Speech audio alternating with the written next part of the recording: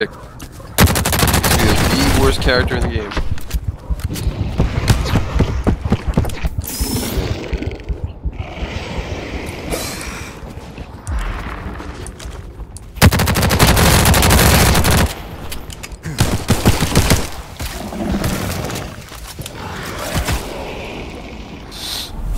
These kids aren't that good.